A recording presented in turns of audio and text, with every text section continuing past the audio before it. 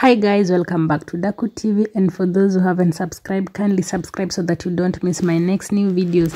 And this year is the new video or the new trending video of Bahati Kenya and Prince Inda.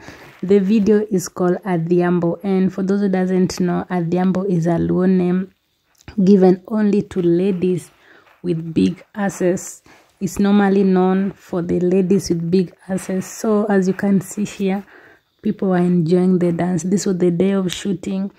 And guys this video have gained 1 million in just two days. Like they we have never had we have never had such a combination of Ohangla and uh, bahati is not a luo but in this video bahati is singing uh, in Luo, and that was quite impressive for a lot of people. And the video has gone viral the day that this video was released. Too much people shared the video. The video has a nice quality.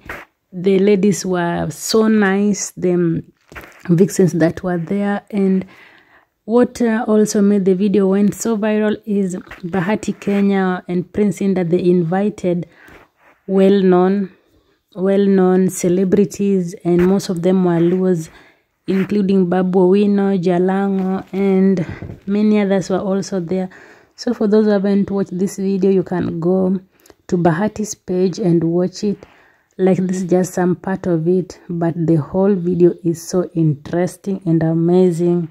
The vixens were so beautiful. They were performing so well. They like they understood the apartment. You can see the Eric Omondi in white so this video has a lot of celebrities and the song is just so wow.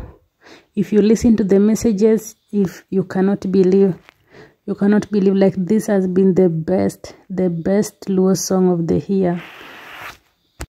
So for those who doesn't know Prince Inda Prince Inda is a Kenyan artist and he normally sings Ohangla and Bahati Kenya is not a Luo Bahati Kenya was before singing gospel, but he shifted. He left gospel to sing the love songs.